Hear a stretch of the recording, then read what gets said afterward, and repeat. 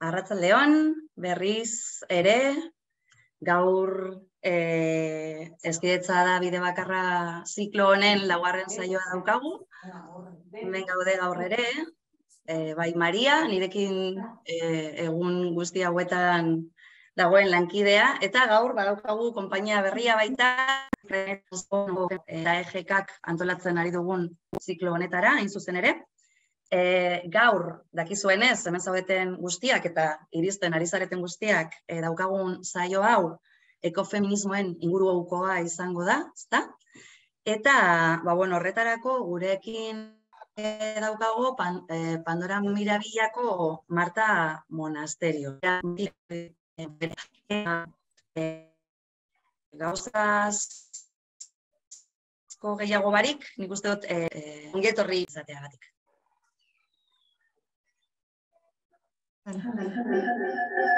Vale, ahí. Buenas, buenas. Buenas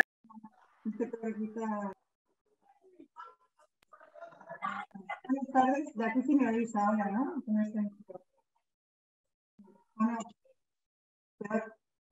Buenas tardes, ahora sí. Para que nos, porque estamos juntos en la misma sala, que no se. Eh, como,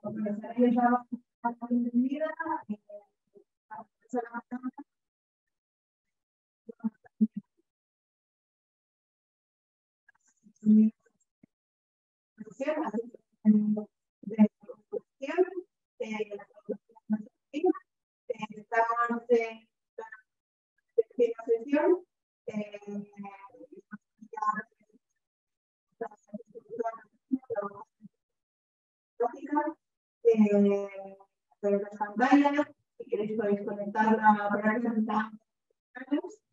eh, y les va a también Marta, Marta, serio, nosotros,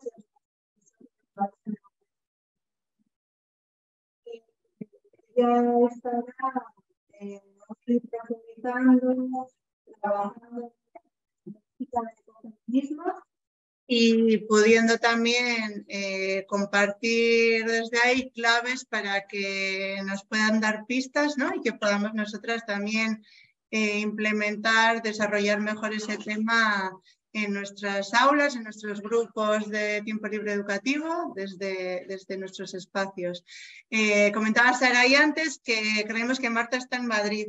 que nos lo iba a confirmar ella, pero por si acaso se lo pongo ahora, se lo cuento yo, que ahora ya nos ha dicho que sí.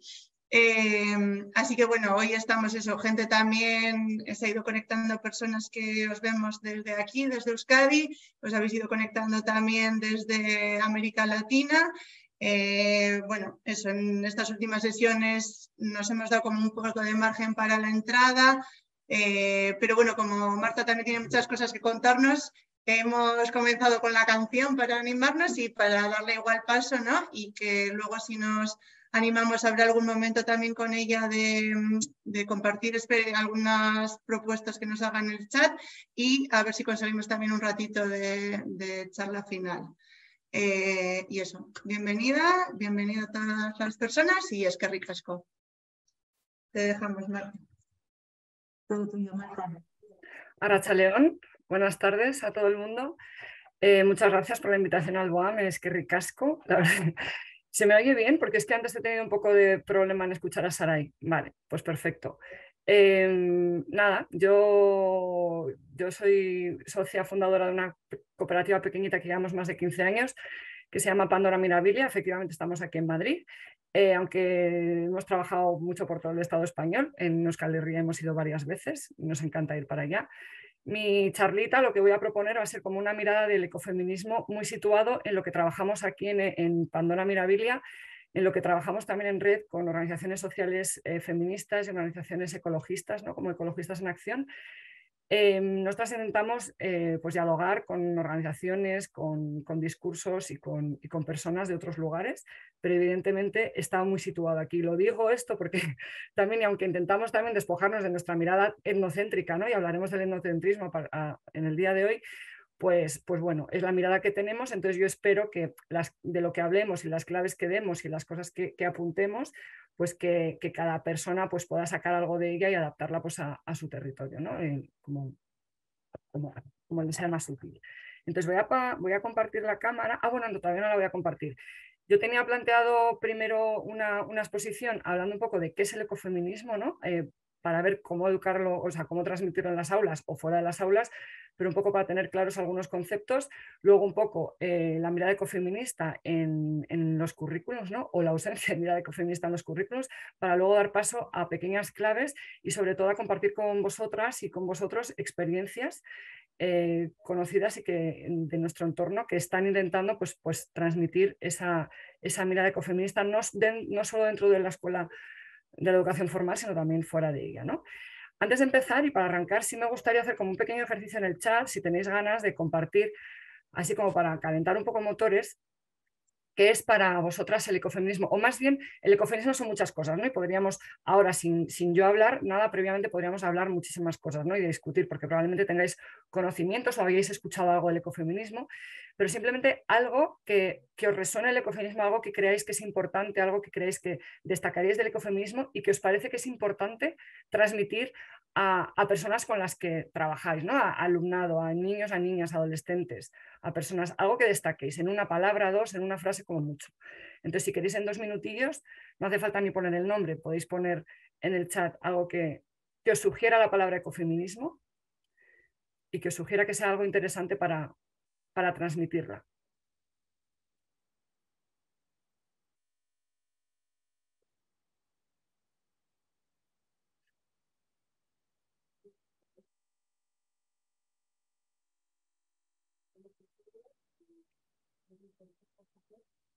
Si no tenéis conocimientos de la palabra lo que la palabra os invite a pensar, pues, pues pensar en la...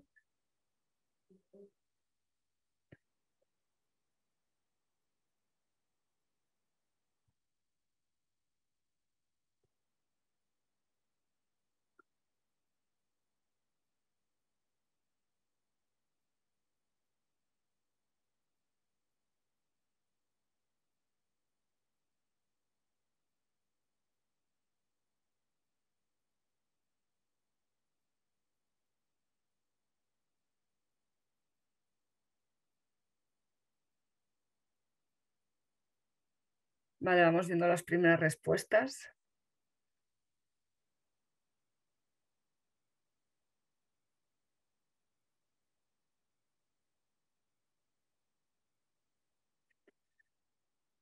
Bueno, pues aparece consumo desde el privilegio, que no sé exactamente a qué se refiere, no sé si la persona que lo ha puesto quiere explicarlo, para dar por hecho que, es lo que yo, no sé si es una crítica, que, que el ecofeminismo critica este consumo, ¿no? Desde el, desde el privilegio a la sociedad consumista, no sé si es eso a lo que se refiere.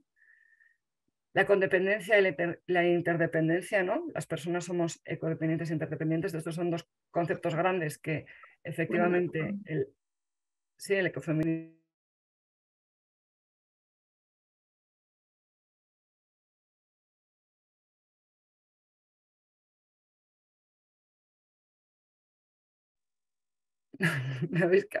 Se me ha puesto en silencio. ¿Me callo? No me callo, no sigo.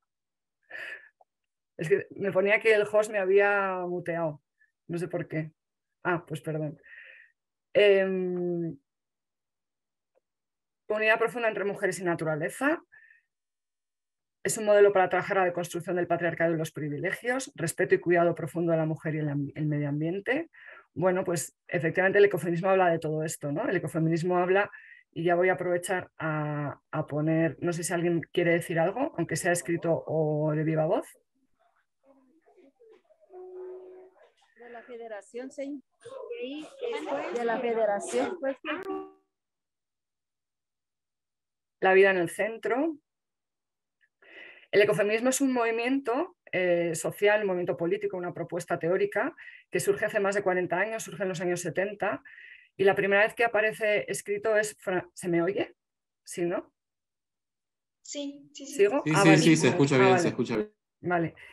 que la primera vez que apareció la palabra escrita fue en un texto de una francesa que se llama Françoise Dubon, en un texto que se llama El feminismo, la muerte, y ella em, apelaba que en ese momento, en un contexto eh, en Francia de ataque a los derechos sexuales y reproductivos, y hablaba de que tenía que haber un nuevo humanismo, una nueva relación entre las personas, una, relación más equitativa entre las mujeres y los hombres, pero que el ser humano también tenía que tener una nueva humanidad y una nueva relación con, con, el, con el entorno. Entonces el ecofeminismo durante más de 40 años ha evolucionado de manera diferente entre tensiones entre la teoría y la práctica y, y, ha habido muchos ejemplos ecofeministas tanto en el norte global como en el sur global y cada una con unas características determinadas, pero lo que les une a todas es que son propuestas de mujeres que denuncian la degradación medioambiental y proponen soluciones a esa degradación medioambiental también enlazándola con la explotación también de las mujeres y las personas que no ostentan el privilegio. ¿no? Habéis hablado mucho de, de, privilegio. El ecofeminismo señala mucho al privilegio y señala mucho que hay que desconstruir esos privilegios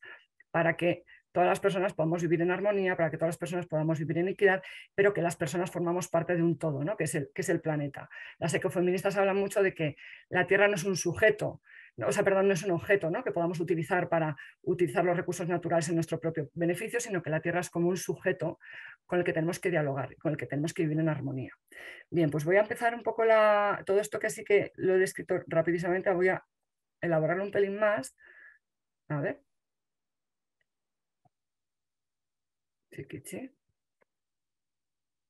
Vale. Se ve, ¿no? Entonces, bueno. Y como habéis puesto por ahí también, el ecofeminismo lo que plantea es un nuevo paradigma, un paradigma de desarrollo que proponga la vida en el centro. Ahora veremos qué es esto de la vida en el centro y si queréis y tenemos un ratito luego, pues lo podemos, lo podemos discutir. Entonces, como os decía, es un movimiento que está en el norte global, en el sur global y que hace siempre una ligazón entre el cuerpo de las mujeres, la vida de las mujeres, la desigualdad que está provocada por el patriarcado y, con y lo liga también a la explotación de la tierra, ¿no? a la degradación de la tierra. Esto es una, pancarta del Ecologistas en Acción, de una, de una manifestación de hace unos años aquí en Madrid, que se puede parecer mucho a esta otra, que es en La Paz, en Bolivia, ¿no? y hace un, poco más años. ¿no? O sea, como que liga cómo hay un modelo de desarrollo, cómo hay un sujeto del desarrollo que expropia, que explota, que, em, que hace uso de naturaleza, de cuerpos y de trabajos en su propio beneficio. Entonces, el ecofeminismo lo que es es un encuentro entre dos movimientos.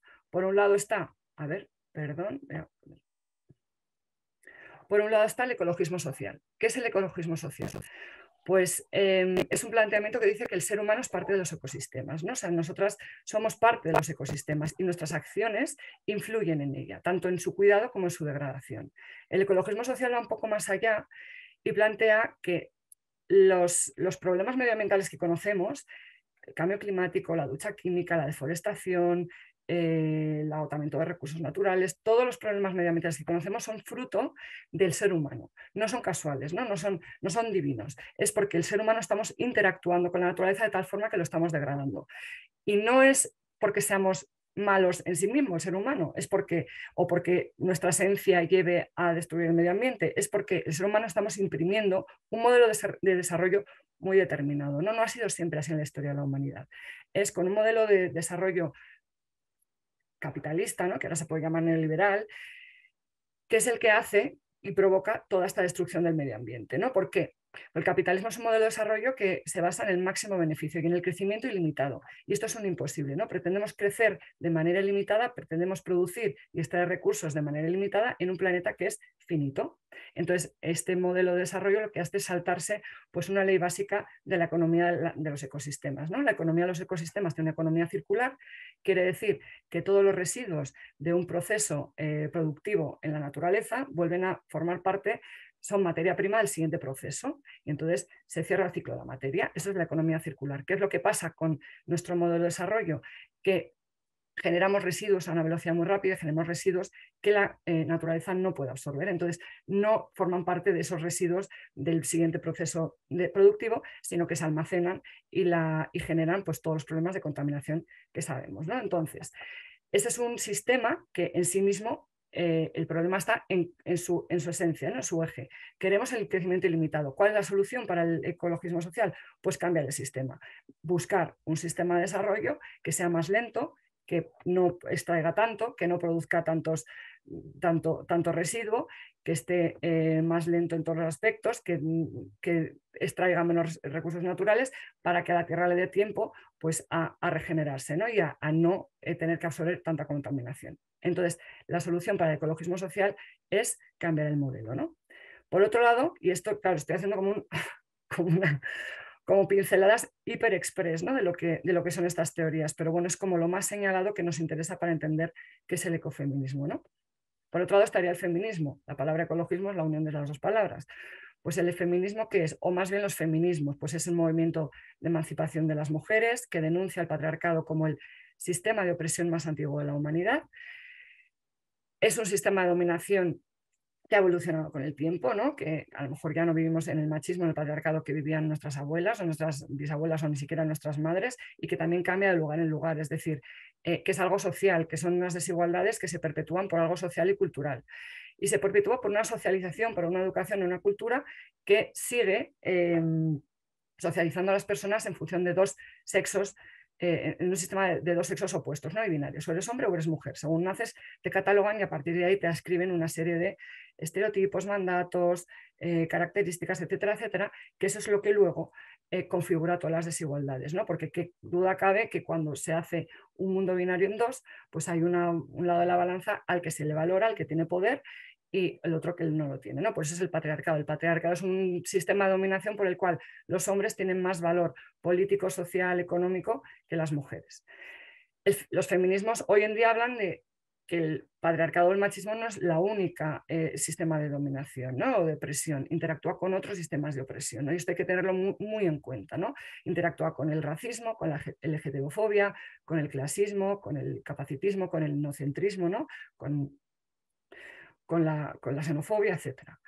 Em, esto lo decían, ya lo dijeron las, feministas ¿no? radicales en los años 70-80. Angela Davis decía que, ser mujer es una, es una, desventaja en esta sociedad, pues imagínese ser mujer y ser negra, ¿no? Y dice ya, pues imagínate todavía más ser mujer, ser negra y ser comunista, ¿no? Es como una aberración en nuestra sociedad, porque no es lo mismo ser mujer que tienes ciertas desventajas, pero si encima tienes otras variables de opresión o de pues, pues tienes más, ¿no? Esto es algo como que que parece una obviedad, pero no lo es tanto porque a la hora también de plasmarlo en la educación, de entender al alumnado como personas que no todas parten del mismo lugar, ¿no? que son personas que tienen diferentes oportunidades o diferentes puntos de partida, pues es importante ver que están en diferentes condiciones, no solo por una cuestión de sexo o de género, sino también por muchas otras cuestiones. ¿no? Y si no nos damos cuenta o no atendemos a esas diferencias ¿no? y a esas diversidades, lo que podemos hacer, aunque tengamos muy buena intención a la hora de actuar en el plano educativo, es eh, reproducir esas, desigualdades ¿no? o perpetuarlas o agudizarlas. Por otro lado, otra de las cosas importantes que dice el feminismo, dice muchas cosas ¿eh? el feminismo, pero yo he rescatado las que me interesan aquí para la sesión de hoy. Pero otra de las cosas que dice el feminismo es que, bueno, que este sistema eh, capitalista y de producción que tenemos funciona gracias a la explotación de las mujeres y de su trabajo, ¿no? a los cuerpos de las mujeres y de los trabajos que han realizado históricamente las mujeres, que son los trabajos de cuidados. ¿no? Y aquí es la economía feminista la que ha, pues, em, ha profundizado mucho y luego un poquito más adelante de la presentación eh, abordaré más. Entonces, ¿qué es el ecofeminismo? Es un diálogo necesario, ¿no? Es un diálogo necesario entre dos teorías que critican al mismo modelo de desarrollo, por razones diferentes, pero por razones también que se complementan. ¿no? Em, hablan de un modelo de desarrollo que es depredador, es depredador con las personas, es depredador con el medio ambiente. Hablan de un modelo de desarrollo que es insostenible, que no se va a poder mantener porque está haciendo aguas por todas partes, ¿no? Entonces, bueno, más o menos lo estamos manteniendo porque hay muchos parches, hay muchos síntomas de esta crisis y que no las estamos haciendo caso. Y también es un modelo que además es muy injusto, ¿no? Porque también el ecofeminismo lo que dice, aparte de que sea insostenible y de que esté destruyendo, es injusto. Podríamos pensar, y aquí podríamos pensar en un mundo que a lo mejor fuera em, ecológicamente sostenible ¿no? y que fuera eficiente y que no genera residuos y que no genera cambio climático y sin embargo no fuera justo desde el plano social, ¿no? Eh, desde el plano humano, que tuviera una parte de la sociedad pues explotada, que fuera un patriarcado, eso podríamos imaginar que eso podría pasar, ¿no? Pues el ecofeminismo lo que pasa es que también critica esas injusticias humanas, ¿no? Dice, el modelo que queremos em, plantear, ese otro modelo, queremos que sea sostenible, pero queremos que sea equitativo y queremos que sea socialmente justo, ¿no? Entonces, pues desde el ecofeminismo se habla de otro mundo y de otro modelo posible. Voy a profundizar un poquito, pero de manera muy breve, en, ese modelo que el, que el, que el ecofeminismo critica, ¿no? porque todo el rato el modelo de desarrollo justo y sostenible, ¿qué es este modelo? Ya avanzado, que es el capitalismo. Pero el capitalismo no se considera un, solo un sistema económico, es un sistema económico, el neoliberalismo, pero es, mucho más, porque se habla de un paradigma neoliberal, porque además de un sistema económico es toda una ideología, es un sistema de pensamiento y no es de ahora, es un sistema de pensamiento que arrastramos desde hace décadas, incluso siglos. ¿no? Entonces, las ecofeministas, bueno, perdón, antes de ir para allá, este, esta ideología nos dice que hay un desarrollo, ¿no? Nos dice dónde está el desarrollo y hacia dónde tenemos que caminar los seres humanos. Y nos plantean el desarrollo en, esta, en un mundo dividido en dos. ¿no? Por un lado está el desarrollo al que las sociedades modernas y, y, el progreso al que deberíamos teóricamente eh, avanzar. ¿no? Y por otro lado están los modelos de sociedad al que el, nuestro, el capitalismo quiere ignorar y quiere dejar atrás. ¿no? Entonces son como dos fotos muy visuales y nos podemos, a partir de estas fotos podríamos sacar muchas conclusiones, ¿verdad? Podríamos ver que el desarrollo está asociado a la luz, a, a la industrialización, al movimiento, al transporte, al espacio público, al consumo, a la producción, al trabajo fuera de casa, a un mundo que, está, que no necesita la naturaleza aparentemente, porque eso es eh, una ficción, ¿no? Todas eh, las personas necesitamos a la naturaleza, pero que no tiene ninguna relación con, el entorno natural, ¿no? Que, vive a expensas de ese entorno natural. En contraposición tenemos lo que el desarrollo o el capitalismo lo que quiere dejar atrás, ¿no? que es un mundo mucho más lento, mucho más sencillo, mucho más ligado a la tierra, mucho más ligado a los trabajos de, de reproducción de la vida, ¿no? mucho más un mundo completamente dependiente de la naturaleza y de la tierra, ¿no? Si pensamos en los sujetos, que son el motor de desarrollo en uno y otro, en la foto de la ciudad, pues no vemos al sujeto, ¿no? Pero sí, seguro que si cerramos los ojos en casa y pensamos, venga, ¿quién, ¿qué persona pondríamos ahí en esa foto? Pues probablemente sería una persona blanca, del norte global, sería un hombre, sería joven, sería sano, ¿no? Sería una persona que le presuponemos completamente independiente y autónomo.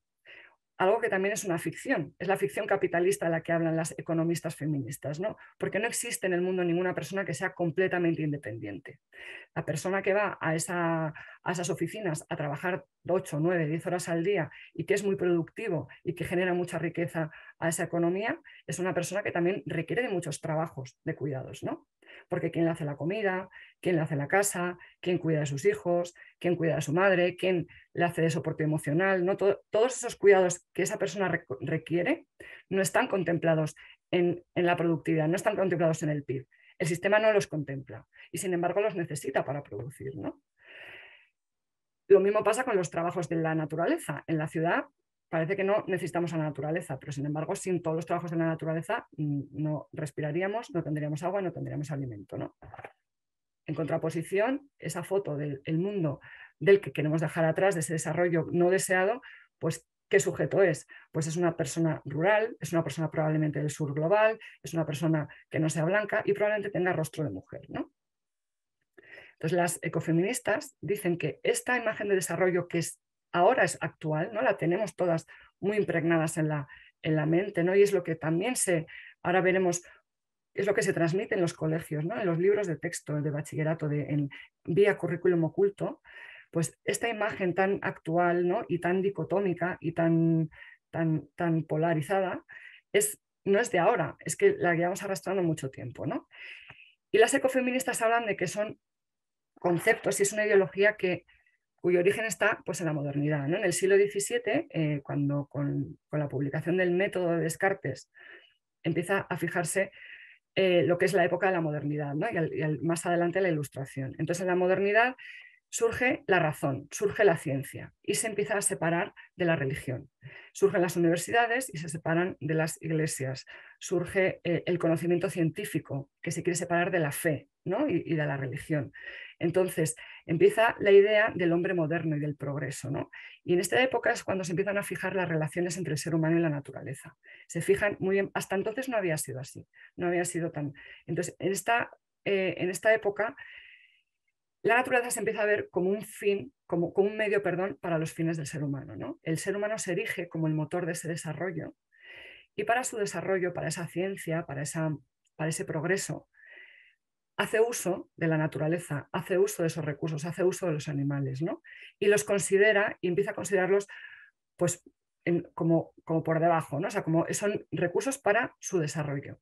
Cuando hablo del ser humano, no estoy hablando de hombres y mujeres. Me parece que probablemente a todas las personas que estáis ahí mirando desde la pantalla habréis pensado, bueno, no es ser humano, no es el hombre. El motor de desarrollo en esta época, el que empieza a erigirse como motor de desarrollo, es un hombre, ¿no? Es un hombre. Entonces, que se opone y que, igual que el mundo, antes he enseñado dos fotos en, dos polos, pues empieza como a fijarse el hombre a posicionarse enfrente de mujeres, de naturaleza, de muchas etiquetas, de, la realidad a la que, de la que se separa en su desarrollo, para crear esta idea de modernidad. ¿no? Bueno, las ecofeministas em, del sur global también han aportado a estas teorías que esta distinción del mundo en dos, entre desarrollo y subdesarrollo, o entre el progreso y lo que no es progreso, no solo viene de la modernidad, le precede, ¿no? Le precede con, las, con, las, colonias, ¿no? Con la conquista de América y con las colonias de África y luego de Asia también. Em, es el hombre blanco el que va a, a, otros lugares, el hombre europeo, y se erige como, como motor de ese desarrollo, como, como en posesión de la razón, como en posesión de la ciencia, y utiliza a otras personas de otros territorios y utiliza otros recursos de otros territorios para su propio desarrollo. ¿no? Y además lo hace como separándose de, esas, como, como, marcando la distancia, yo tengo la, yo tengo la modernidad, yo tengo la clave del progreso y tengo que utilizar todos estos recursos y además eh, tengo que dominar a todas esas otras civilizaciones, ¿no? que es un poco lo que pasa con las mujeres. ¿no? A las mujeres hay que dominarlas, a la naturaleza hay que dominarlas, a otros territorios hay que dominarlas. Es lo que la ecofeminista Val Plumwood ha, hablado, ha, nombrado como los pares dicotómicos. ¿no? Para esta ecofeminista, em, la realidad que es muy compleja se reduce y se simplifica a través del pensamiento occidental en pares dicotómicos. ¿no? Por un lado está el ser humano, ¿no? y que se enfrenta a la naturaleza. Por otro lado está el hombre que se enfrenta y se separa a la mujer. Por un lado está la razón que se enfrenta a la emoción, la cabeza al cuerpo, el espacio público al espacio privado, el trabajo productivo al reproductivo, el norte global y el sur global, el desarrollo y el subdesarrollo. ¿no? Son pares dicotómicos que, son, que, no solo simplifican la realidad, sino que, que no, que no la integran, que la rompen, ¿no? que, la, que la despiezan, que está llena de estereotipos, que está llena de juicios y que está llena de falsedades. ¿no? Entonces, pero son pares dicotómicos que arrastramos hasta hoy en día. ¿no? Si, si, pensáis en un montón de estereotipos que tenemos o de prejuicios que tenemos o de ideas preconcebidas que hay en nuestras sociedades, probablemente encajarán con, con esas, con, esas, con esas dicotomías, ¿no? porque cuando se habla de la mujer histérica, ¿a qué nos referimos? O cuando, cuando hablamos de que las mujeres están incontrolables o que las mujeres no sirven para ser jefas o que las mujeres, ¿no? ¿A qué nos referimos? Pues nos referimos a muchísimas cosas que estamos arrastrando. ¿no? Entonces, en esta, esta división de, conceptos, además de todo lo dicho, surgen otras cosas perniciosas. ¿no? Una es que a la naturaleza se le equipara un poco a la mujer. Hay una especie de feminización de la naturaleza y naturalización de las mujeres. ¿no? Las mujeres se nos presupone salvajes, se nos presupone dadoras de vida, cuidadoras por esencia, ¿no? se nos presupone también con todo lo bueno y con todo lo malo que tiene eso, ¿no? como el discurso de la excelencia y el discurso de, la no excelencia, ¿no? de, que hay que dominarnos, de que somos peligrosas, de que tal, tal, tal. Todo esto que estoy diciendo aquí está muy fundado, hemos hecho otra, hoy no me da tiempo, pero si os interesa os podemos pasar material de, cómo teóricos de la época, bueno, no solo de la época, de, toda la historia de la humanidad han escrito sobre la naturaleza y han escrito sobre la mujer personas que han em, sido grandes pensadores de la cultura occidental, han escrito sobre todo esto, ¿no? Y, cómo, y esa visión que se tiene de la mujer y la naturaleza. Y por último, tiene otra consecuencia y es que se hace dos grupos diferentes y hay uno que se pone en, por encima de la balanza de otro, ¿no? Y es evidente cuál tiene más valor social y cuál tiene más reconocimiento. ¿no? Entonces, todos los valores o todo lo que, todos los conceptos que están tradicionalmente asociados a lo masculino son lo que la sociedad em, quiere promover, son lo que la sociedad se valora, lo que la sociedad premia. ¿no? Y ahí pues en, esa balanza de lo masculino no entran los trabajos de mantenimiento de la vida, no entran los, trabajos eh, de mantenimiento de la reproducción, social, ni los, de, los que hacen la naturaleza, ni los ecosistémicos, ni lo que hacen las personas, ¿no? ni tampoco los trabajos de alimentar al mundo, ¿no? que, están en manos de, las, poblaciones rurales, ¿no? las poblaciones del sur. Bien, entonces, por un lado está como esta forma de pensar que hemos arrastrado, que yo creo que aquí esta parte me, me, he explayado un poco porque esto es interesante como tenerlo muy claro como para poder trabajar. Yo creo que en educación hay mucho potencial para trabajar esto, ¿no? Porque nuestro modelo es, por un lado, cómo funciona, pero también en qué se basa, en qué ideas se basan, ¿no? Entonces, trabajar esas ideologías, trabajar esas ideas de pensamiento, trabajar como todos nuestros prejuicios y nuestros estereotipos es algo que desde la educación se puede hacer y que es algo muy potente a hacer, ¿no? fomentando la mirada crítica, fomentando el que la gente nos hagamos preguntas, el debate, ¿no? la reflexión, que es algo que la escuela tradicional o la escuela así en grandes titulares, al menos la que yo conozco, pues no, no le presta mucha atención ¿no? y está más centrada a la adquisición de conocimientos, eh, matemáticas, lengua, historia, eh, de una manera un poco estándar, ¿no? pero no promover como una real, realmente como la, la reflexión de cuestiones que son fundamentales y vitales para, nuestras vidas. Entonces, hemos visto cómo, cuál es ese sistema de pensamiento, pero cómo es el sistema de cómo funciona, ¿no? Pues es un sistema que vive en déficit, ¿no? Y sobrepasa todos los límites. Sobrepasa los límites biosféricos y también sobrepasa los límites de las personas. Hay cosas que ya las he dicho, otras vamos a, vamos a, a profundizarlas un pelín. Por un lado están los, límites de la biosfera.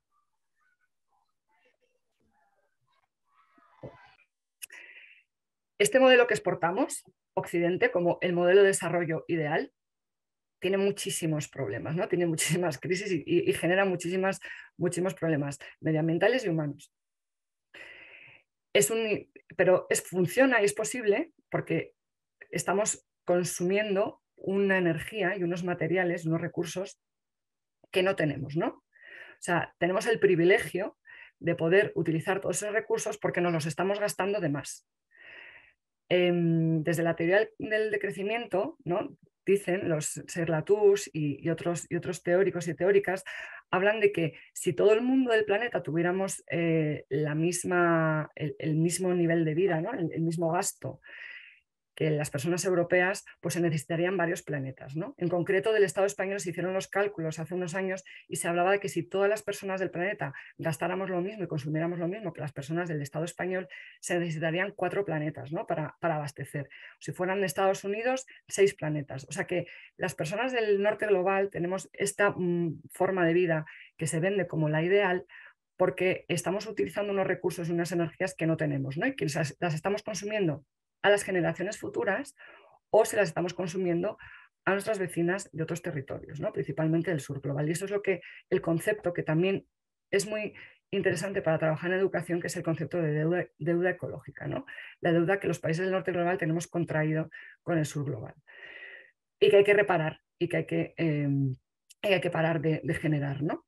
Y por otro lado, este nivel de vida que tenemos eh, es posible porque, como decía antes, vivimos a expensas de la crisis ambiental y, de la emergencia climática.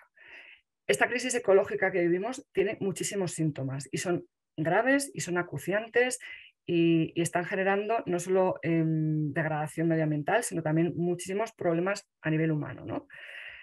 el cambio climático y la pérdida de la biodiversidad son como los dos principales problemas grandes que tenemos ahora mismo y que hay que hacerles frente ya. Vamos muy tarde en cada, cada uno de ellos, pero también existe la deforestación, la ducha química, el agotamiento de la energía fósil, la contaminación por plásticos, la muerte de los bosques, de los océanos. Hay muchísimos em, síntomas de esta crisis ecológica y todos, todos, todos, todos son producto de un modelo de desarrollo. ¿no? O sea, no, no, me da tiempo a entrar en ellos, pero puedo poner un ejemplo, ¿no? El cambio climático.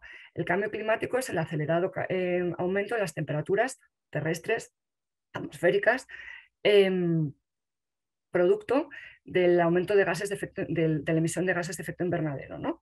principalmente el CO2, también el metano. ¿Por qué se, ha habido cambios climáticos? Hay quien dice, ¿ha habido cambios climáticos en otras épocas del año, de, la historia de la humanidad? Puede ser, pero nunca, jamás en la historia a estos niveles. ¿no? Y de sobra eh, probado y científicamente que esto es producto de una, un nivel, una industrialización, ¿no? Todas las, y de cómo nuestra sociedad hemos pasado una alimentación que no está industrializada a industrializarla, ¿no? Como la ganadería, la agricultura, el transporte, absolutamente todo lo que hacemos, las sociedades modernas, entre comillas, están industrializadas y son esos procesos industriales los que generan, y, y, petrodependientes, ¿no? la quema de combustibles fósiles, los que generan estos, estas emisiones de gases de efecto invernadero. Entonces, sí, completamente el cambio climático está, ligado no solo al ser humano o no específicamente del ser humano, sino a un modelo muy específico del ser humano, porque no todos los seres humanos del planeta generan el cambio climático al mismo nivel. ¿no? Cuando hablaba de deuda ecológica, también se habla de deuda de carbono. Son los países que más cambio eh, climático generan los que luego menos eh, sufren sus consecuencias, aunque ya cada vez los estamos em, em, padeciendo más. ¿no?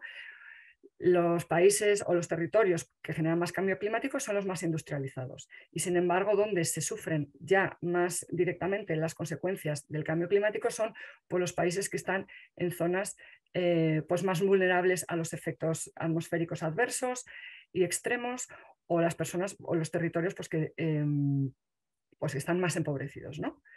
Entonces, bueno, por eso hablamos también de la deuda de carbono.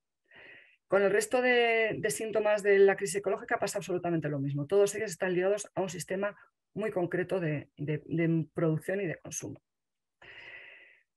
Hablemos de los límites humanos. También hay, eh, estamos sobrepasando también los límites humanos. ¿no? Hablaba antes de que, mm, de que hay un modelo económico que es ficticio, que el modelo de persona independiente 100% productiva es ficticio, no aparece como de la nada, no aparece como decían Amaya Pérez Orozco y, y Esther Carrasco como champiñones de la nada, eh, son personas que requieren muchos cuidados, como todas las personas, porque al principio lo habéis dicho, el ecofeminismo habla de la ecodependencia, porque dependemos de un planeta y de un planeta sano para poder vivir, y somos interdependientes las personas, porque nos necesitamos unas a otras.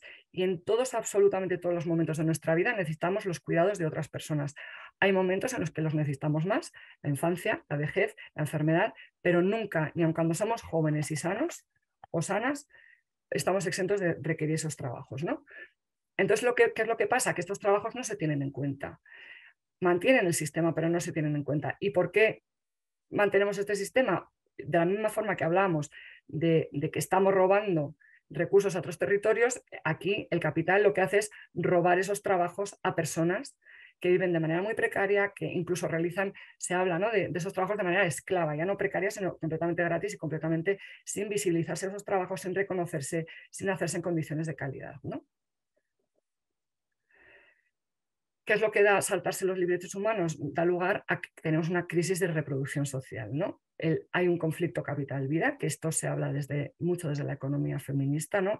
no se puede mantener el capital a este ritmo, no se puede producir de manera ilimitada si atendemos a las necesidades de la vida como una vida que merezca la pena ser vivida. Eh, desde el ecofeminismo, en, por lo menos en, el norte global se ha hablado y en el Estado español se ha hablado de la crisis global de los cuidados, ¿no? ¿Qué pasa cuando las mujeres en los años 70-80 se incorporaron de manera masiva al trabajo laboral, ¿no? fuera de casa? Qué pasa con todos esos trabajos que se dedicaban a jornada completa a las mujeres y que era necesario seguir realizando. ¿no? Pues ahí pasaron varias cosas y se dieron varias respuestas individuales. La primera es que esas mujeres que realizaban una jornada fuera de casa volvían y también tenían que realizar su jornada de trabajo doméstico, con lo cual se hablaba de la doble y la triple jornada laboral de las mujeres. ¿no? Pero también empezó a, pasar, a pasar perdón, que se externalizaron los trabajos a primero a personas de la familia extensa, ¿no? a los abuelos y a las abuelas. Hoy en día, si no existieran abuelos y abuelas en Madrid, no se podría ir a trabajar, no funcionaría el mercado, no funcionaría el sistema, porque los niños y las niñas, porque no hay recursos, porque el Estado no se hace cargo al tiempo o como debería de esa crianza. ¿no? Y hablo de niños, pero también puedo hablar de personas enfermas y de personas ancianas. ¿no? Esa externalización a la familia extensa una tercera vía es la externalización a personas que vienen de otros lugares, ¿no? Personas que del sur global que dejan a sus, a sus eh, familias al cuidado de otras personas y que vienen al norte a cuidar a nuestras, a nuestras, a nuestras familias. ¿no? Eso es lo que se habla de eh, la cadena global de los cuidados. Entonces, las soluciones son privadas y aparte de estas soluciones privadas, lo que también se produce es que se mercantiliza la vida, eh, el Estado o las comunidades o, las sociedades no se hacen cargo ¿no? de, esos cuidados, de esos trabajos que son necesarios para la vida a nivel colectivo. Y entonces, em, en un contexto de crisis, además, pues todo esto se precariza más, ¿no? porque en el Estado español, por ejemplo, sí que hubo un intento del Estado de corresponsabilizarse ¿no? con la ley de dependencia en el anterior gobierno socialista que hubo, Em, hubo una ley que se llama la Ley de Dependencia y por primera vez en la historia de España el gobierno, el Estado, se hizo corresponsable. ¿no? Dijo, el cuidado de personas dependientes y enfermas no solo es una responsabilidad de las familias eh, privada, sino que también es una responsabilidad del Estado. Y se generaron pequeños mecanismos, una ley que, tiene, eh, que es insuficiente, que tiene muchas cosas que se les podría criticar, pero que fue la primera vez que se hizo corresponsable. ¿no? ¿Qué pasó más adelante cuando aumenta la crisis económica? Bueno, pues que lo primero que se va recortando es de, las, de, los, de, las, de los servicios sociales, ¿no? de la dependencia, de las guarderías, de los, de los centros de mayores, el cuidado de las personas se privatiza en contextos de crisis económica, las familias con menos recursos y las familias más precarias son las que más se ven golpeadas y las que más dificultades tienen para realizar todos estos cuidados. ¿no? Y al interior de esas familias nos podemos imaginar quiénes ven sus, sus, vidas más eh, precarizadas y más estresadas por, esta, eh, por estos recortes y esta precarización generalizada, ¿no? que son las mujeres. ¿no? no solo las mujeres, sino las mujeres pues, con con menores recursos, etcétera, etcétera. Añadiríamos una tercera pata a la crisis, que sería la crisis social. ¿no? El mundo está dividido entre, o sea, el, mundo está muy polarizado, hay un centro y una periferia, un norte global un sur global, un, territorio planetario que absorbe los recursos, que recibe la materia prima, que recibe los, los capitales y otra parte del planeta donde eh, abastece a ese, a ese norte, donde hace como de almacén, donde hace como de, despensa y donde además eh, hace como de, también donde se externalizan casi todos los problemas medioambientales. ¿no? Y son partes del mundo además donde las necesidades básicas de las personas están menos resueltas que en el norte global. ¿no?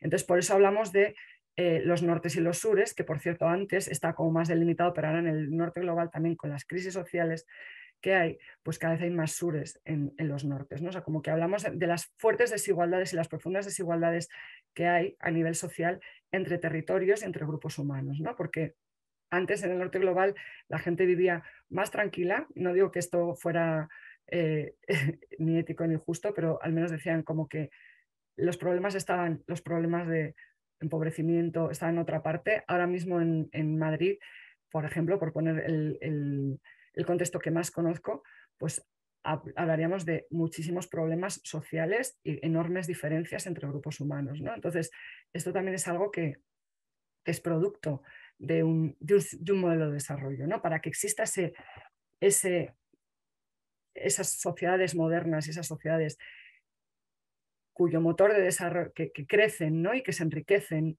pues se necesita que hay otras sociedades que están aportando a esa riqueza ¿no? y que no están disfrutando de tal riqueza. Entonces hablamos de que nuestro modelo de desarrollo no es que tenga algunas crisis, ¿no? sino que el modelo de desarrollo es en sí mismo una crisis, es una crisis del sistema, es una crisis sistémica. Y por eso, esto no es del ecofeminismo, esto es de una movilización eh, climática de antes de la pandemia, se hablaba de que no hay que cambiar el clima, hay que cambiar el sistema, ¿no?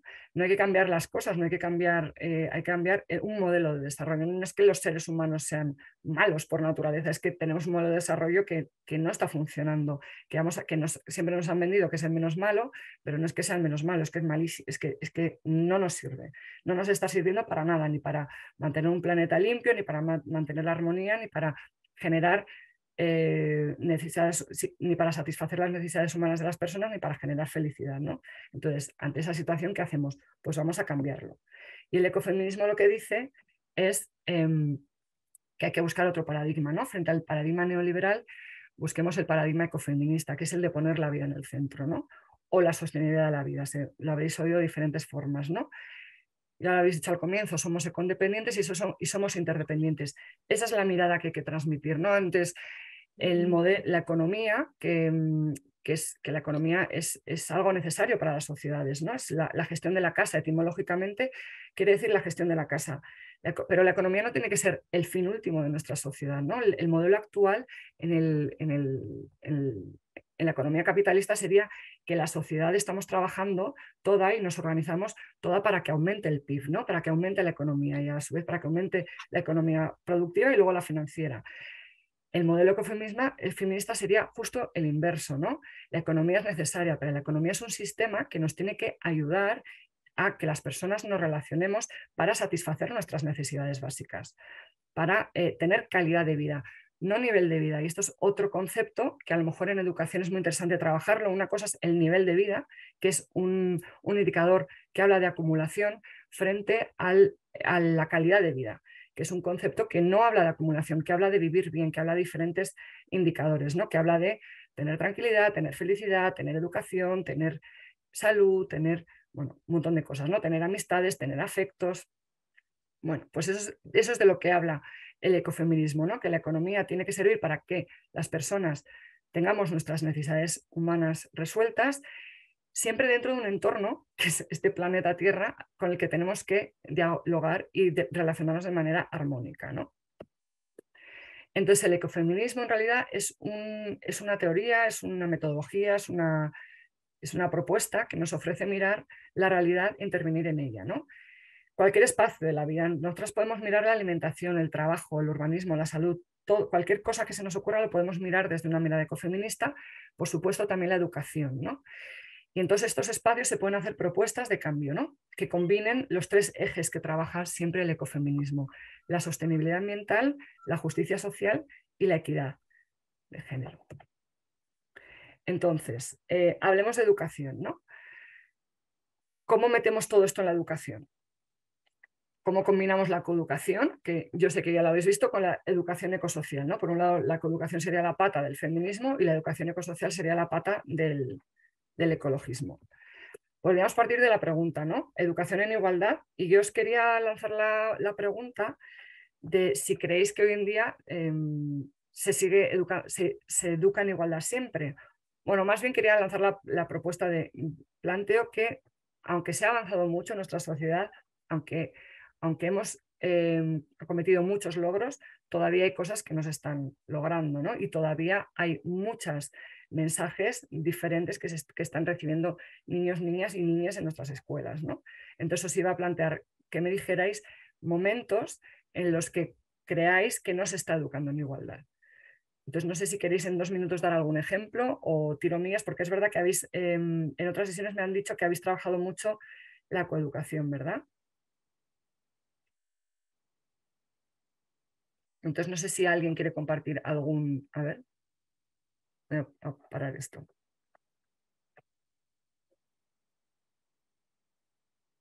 ¿No se me ve? ¿Se me ve? No sé qué ha pasado. Ah, sí.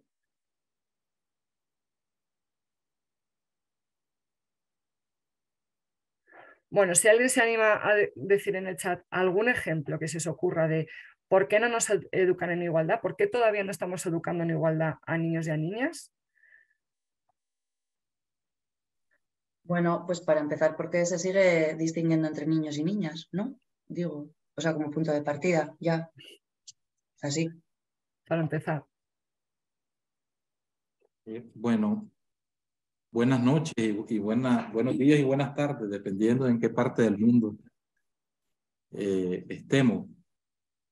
Eh, yo creo que nos seguimos educando en igualdad desde el momento, por ejemplo, que hacemos la división a la hora que los niños y las niñas entran al colegio, cuando los ponemos en filas diferenciadas, ¿por qué los separamos? Eh, si nos vamos, digamos, al currículum, por ejemplo, vemos la, la, la, gran cantidad todavía que existen en nuestros libros de texto de hombres en toda la ciencia.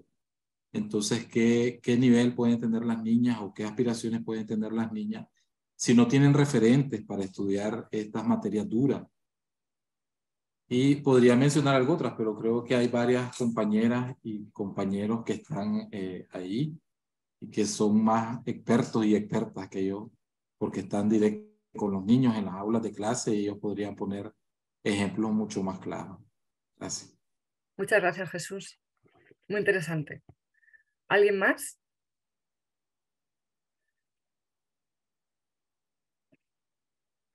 Bueno, pues en el chat hay algún comentario, Marta. Ay, perdona. Sí. Perdón, perdón. Eh, no educamos en igualdad por miedo, falta de creatividad y audacia para ir a contracorriente.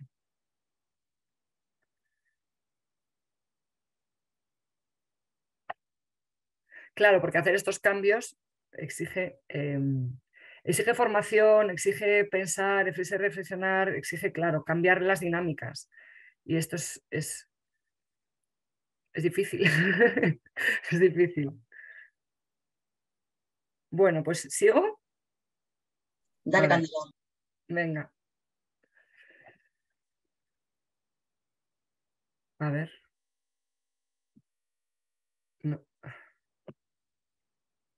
Vale. Desde la coeducación, la habréis visto, voy a ser muy rápida en esta parte, ¿vale? Porque me interesa más ir a las experiencias. Eh, se habla del currículum oculto, ¿no? De todo aquello que transmitimos de manera no explícita. Yo no sé en otros, en otros territorios, en otros lugares, pero desde luego aquí en, en el Estado español o en, sí, ahora mismo, hoy por hoy, por lo menos de manera pública, no se, dice, no, se aceptaría que hubiera mensajes diferenciados sexistas entre niños y niñas. No, no se atrevería uno a decir eh, es que el cuerpo de las mujeres no importa tanto que el de los hombres, es que las mujeres no saben hacer obras de arte, eso, no, eso es inconcebible, ¿no? de manera explícita, pero de manera no explícita, a través del currículum oculto, sí que se siguen perpetuando algunos de esos mensajes. ¿no? Y voy a poner un ejemplo.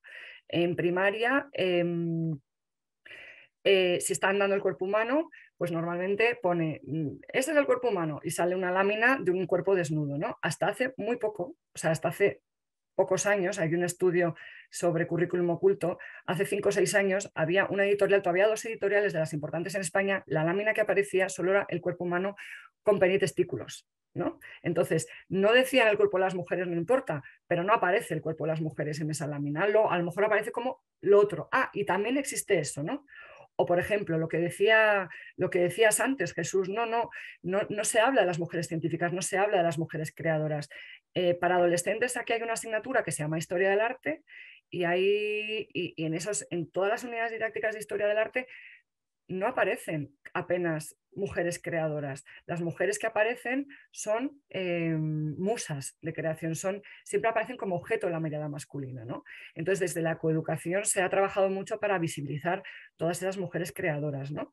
En la universidad, incluso de, mm, historia del cine o, de artes audiovisuales, no se habla de Alice Guy. ¿no? Alice Guy es una eh, enorme desconocida en, la historia del cine, ¿no? Y es, y es, la primera persona a la que se le. La, que, a la primera persona a la que, hizo una, una, película de ficción, ¿no? Bueno, entonces, hay muchas cuestiones que no solo están en el currículum, ¿no? en los libros de texto, pero también en cómo hablamos a los niños y a las niñas, qué les decimos, qué esperamos de ellas, em, cómo se organizan los espacios de recreo, cómo se organizan, lo que habéis dicho de las filas, ¿no? Entonces, a lo mejor no te dicen directamente, no valemos igual, pero con muchos otros mensajes que no son explícitos, nos van transmitiendo que niños y niñas tenemos, o que mujeres y hombres tenemos mm, capacidades diferentes, eh, que se tienen expectativas diferentes sobre nosotros, etcétera, etcétera, ¿no? Y estamos hablando, como, como decía Saray, incluso de niños y niñas. Ya de partida nos dividen en niños y niñas y niegan cualquier otra diversidad del ser humano. ¿no? Entonces, em, esto también es como muy encorsetado. Entonces, eh, el currículo oculto se transmite a partir del lenguaje, de los contenidos, de las actitudes y el trato, de la didáctica, de la metodología, etcétera, etcétera. ¿no? ¿Cómo miramos el mundo con gafas violeta? Esto lo voy a pasar de corrido. Os voy a dar mañana la, o sea, os voy a dar ahora la presentación al terminar y os la van a pasar.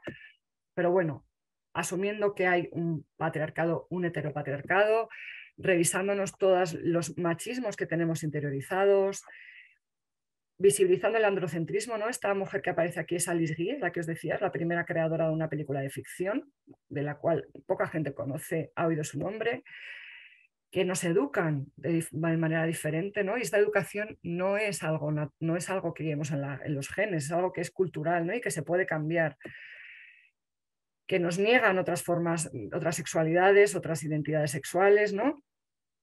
que estamos llenas de estereotipos y que se ignora también la interseccionalidad, ¿no? También sé que habéis dado una, sesión de interseccionalidad, entonces no, no, no, me centro mucho, pero, pero lo que os decía antes de, las eh, opresiones elapadas, en educación tiene, hay que verlo mucho, ¿no? Porque, por ejemplo, el, esto es un ejemplo, ¿no? en un colegio de primaria se quiere fomentar la participación de las familias, ¿no? Y se realiza un proceso participativo. Venga, familias, vamos a reunirnos. Y se invita, de, con muy buenas intenciones, se les invita a participar, ¿no? Y el profesorado se frustra porque las mujeres marroquíes, pues nunca acuden, ¿no? Entonces preguntamos, ¿qué ha pasado? esa comunidad educativa, esos profesores, ese profesorado se pone a investigar y se da cuenta, pues que a lo mejor la convocatoria la han hecho solo en castellano y a lo mejor esas familias, esas mujeres, esas mujeres no hablan eh, castellano. A lo mejor las horas donde han puesto, a las que han puesto las reuniones, a lo mejor por sus cargas de cuidados, esas mujeres no pueden, o porque no han puesto servicio de ludoteca o de guardería para que vean sus hijas, ¿no? o porque eh, lo han puesto en un sitio al que ellas no suelen acudir. No, hay un montón de cosas, un montón de variables que si no vemos la diversidad que hay en los grupos humanos, no las podemos, em, podemos perpetuar situaciones que no, que no queremos, ¿no? Y bueno, luego también desde la coeducación hay que visibilizar y tener en cuenta que existen violencias todavía, que también es, las violencias existen en, los, en los colegios, en los institutos, ¿no? Cómo se trabaja esa violencia, porque no es un problema de los mayores, ¿no? Del mundo adulto, de, ver de poner la tele y ver qué violencia machista. Es que en la educación hay que sentar las bases y hablar mucho de cómo nos relacionamos. La educación emocional, la educación afectivo-sexual, el saber identificar las situaciones violentas, el saber tener la asertividad y la, posibilidad de decir qué es lo que no te gusta, qué es lo que te gusta, ¿no? Cómo puedes resolver los conflictos de manera pacífica. Bueno, pues hay un montón de cosas para trabajar con niños y con niñas, ¿no? Porque esto del machismo, el patriarcado, nos, nos, nos afecta a todo el mundo, ¿no? Entonces, es una cuestión relacional. Y bueno, lo de la diversidad que ya le he dicho, ¿no? Em, y por otro lado estaría la educación ambiental, ¿no? el currículum ecosocial, perdón, el currículum antiecológico. Aquí voy a poner y voy a algunas conclusiones de un estudio que hizo Ecologistas en Acción hace ya bastantes años, yo creo que hace más, hace 10 años, ¿no? Lo que pasa es que no, a día de hoy no he, encontrado un, estudio tan completo sobre el currículum, ¿no? Eh, de, una mirada desde el ecologismo, ¿no? Desde esa mirada medioambiental, para ver qué es lo que traducían, ¿no? Y estas son algunas de las conclusiones, ¿no? Los libros de texto, en los ejemplos que dan no solo los de, los de conocimiento del medio, los de ciencias o los de historia, todos los libros de texto se han estudiado, ¿no? también en los ejemplos que dan, en los, en, los ejercicios, en las investigaciones que se proponen en todas las disciplinas, transmiten constantemente una serie de ideas. Y fijaos que todas estas ideas tienen mucho, mucho que ver con toda la primera parte de, la sesión de hoy. ¿no?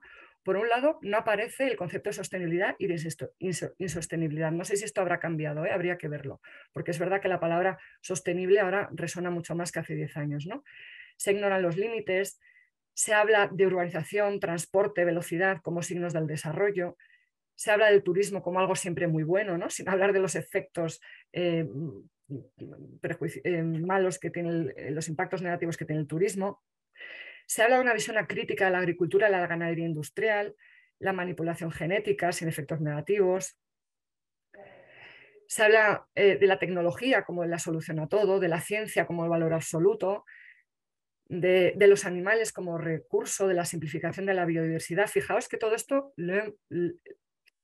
es lo que decían las ecofeministas en toda su parte teórica. ¿no? no se estudian los trabajos de mantenimiento de la vida y se oculta el papel de las mujeres. No, no existen, no existen los trabajos de mantenimiento de la vida. Parece como que no se les da importancia, ¿no? Cuando, son, cuando es la base para, la supervivencia humana, ¿no? Em, el endocentrismo y el desprecio por las culturas ecológicamente sostenibles, ¿no? la rural, la campesina, la subglobal. Se estimula el consumo, se habla del consumo como algo bueno. ¿no? Aquí tenéis la fuente cuando os dé podéis ver todo el estudio que es muy, muy interesante. Entonces, aquí hay algunos ejemplos ¿no? que hemos extraído. La sociedad española del siglo XX disfruta de un mayor progreso. La mayor parte de la población vive en las ciudades. ¿no? Pues está equiparando progreso con ciudades, tan ricamente obviando que en las ciudades existen bolsas de pobreza, muchísima degradación ambiental, que existe muchísimo estrés, o sea, muchos problemas de, las ciudades. ¿no? Otro ejemplo, las técnicas de mejora genética de las plantas han aportado a la humanidad aumentos de rendimiento de las cosechas mediante la creación de la variedad de productivas de trigo, maíz, bla, bla, bla, bla, bla. Ahí se, se ignora completamente todas las problemáticas que tienen todas estas, estas técnicas ¿no? de, de, modificación genética. El balance de la Unión Europea es bueno porque su PIB ha crecido más, ¿no? Se está poniendo como que el bienestar de la Unión Europea es el PIB, la riqueza, la acumulación, ¿no? Pero no se está atendiendo a cómo vive esa población de la Unión Europea, ¿no? Desatender la producción de bienes de consumo es desatender el bienestar de la población. La colonización, a ver que no la veo porque tengo aquí, la colonización consistió en poblar América, ¿no? Imaginaos qué visión tan colonialista de, la historia. Lo del, cuerpo humano que ya lo he dicho, o este último. Ejemplo, la pirámide de la, Edad Media. Aparece una, es muy típico ¿no? los libros de texto, en historia o, sociales, o como, no sé cómo se llama, aparece y en esa, en esa estratificación social solo aparecen hombres, no están las mujeres. ¿no? Y cuando se habla de las mujeres en la Edad Media, se habla de que son momentos oscuros, de que las mujeres siempre oprimidas, no, no, siempre perseguidas. Pues yo no soy una ducha en la Edad Media, no, no, soy una experta, pero, em, pero lo poco que he leído de expertas en la Edad Media, expertas que hacen una revisión feminista, pues hablan de que las mujeres tuvieron un papel muy protagónico en la Edad Media, ¿no? En los oficios, en la vida pública, en la vida familiar, en, muchísimos ámbitos, ¿no? Pues no están. Entonces, con todo esto, ¿no? Y rapidísimo, ¿cuál, ¿el objetivo cuál sería? Pues sería ponernos las gafas verdes y moradas, ¿no? A la hora de pensar en la educación. Y aquí he hecho un listadito de claves, pero que es un listado muy casero, que no está sacado de ningún sitio así y que está como en permanente construcción. Y yo es lo que os animo a eso, a que en educación penséis todas estas cosas, estas teorías, estos mm, conceptos, estas, estos debates que, actuales y, que, que, tenemos para ir añadiendo cada, cada quien sus claves y ir adaptándolas. ¿no? Los retos cuáles son? Pues un lenguaje inclusivo y andocéntrico, atención a la diversidad, visibilizar a las mujeres en la historia y en, a ver, que no veo esto, y en las materias, visibilizar a las mujeres y a los hombres rurales, ¿no? tanto el Estado español como de otros territorios, a las personas indígenas, como sus saberes, sus contribuciones, ¿no? sus trabajos en todas las disciplinas. ¿no? Trabajar la mirada crítica, ¿no? la, reflexión, el, el, poder pensar, el poder debatir, el poder mirar las cosas sin que todo se dé por hecho, ¿no? porque esto es una cosa que el, trabajo de ecologistas en acción vio, ¿no? o sea, como que todo se da por hecho y no hay, no hay lugar al debate, no hay lugar a reflexionar si una cosa es buena o no. ¿no? Eh, la convivencia escolar, ¿no? prevenir las violencias, ¿no? nombrar las desigualdades, el sexismo, la transfobia, o sea, no asumir que, el alumnado, em, porque es un cole o porque es un, no tiene desigualdades, hay que verlas, hay que analizarlas, incluso hay que trabajar con ellos, bueno, pues depende de, cómo... hablar de todas estas cosas, ¿no? Hay que promover la, educación afectivo-sexual, la educación emocional, que es la base, ¿no? Para una comunicación no violenta y una comunicación pacífica, ¿no? Educar el cuerpo a moverse en libertad, educar el, gusto y el respeto y, promover la lo no normativo, ¿no? O sea, como que, que las mujeres es, fuera de la norma, pero también las personas lesbianas, las personas LGTB, las personas migrantes, las personas mm, gordas, las personas que tienen manes y ruedas, esas, todas esas personas, que son la mayoría, no entran dentro de la, norma, ¿no? de lo no normativo, pues todo eso hay como que, esto es algo que trabaja mucho las pedagogías queer, ¿no? Eso hay, que como que como que sacarlo a la luz y, y reconocerlo y trabajarlo, ¿no?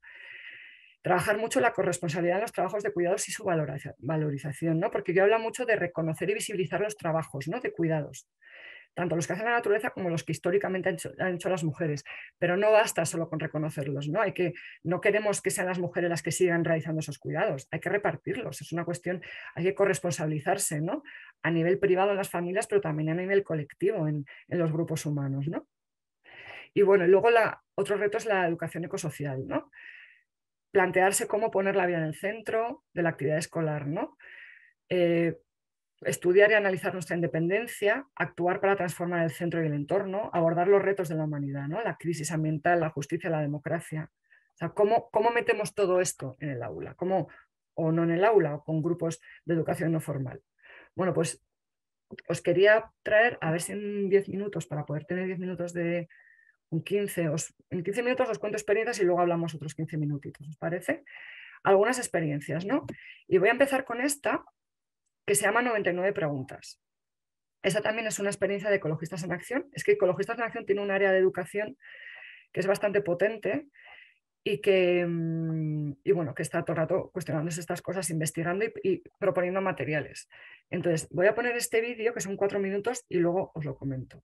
Me tenéis que decir, eso sí, si se oye. ¿Lo oís? La tecnología resolverá todos los problemas. Sí, se escucha. Nunca las personas hemos vivido mejor que ahora gracias al desarrollo y la tecnología. La vida se ha hecho cada vez más cómoda. Hay que construir más carreteras, líneas de AVE, aeropuertos. Son un signo de progreso y riqueza. Gracias a la televisión podemos conocer el mundo. Las culturas que usan poca energía para sobrevivir son atrasadas. El deterioro de la naturaleza es el precio que tenemos que pagar por el bienestar. No se puede parar el progreso. La economía tiene que crecer. El Producto Interior Bruto sube, todos salimos beneficiados.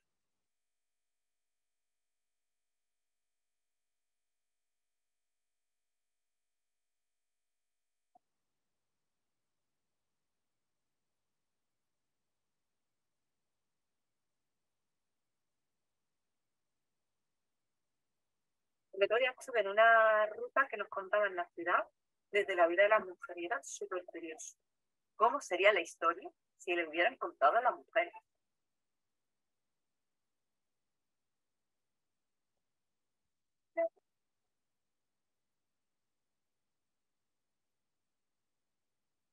Bueno, bueno, pues, bueno, yo me pregunto, ¿por qué hay gente que no tiene necesario? Sí, es verdad, ¿eh? yo también me lo pregunto a veces.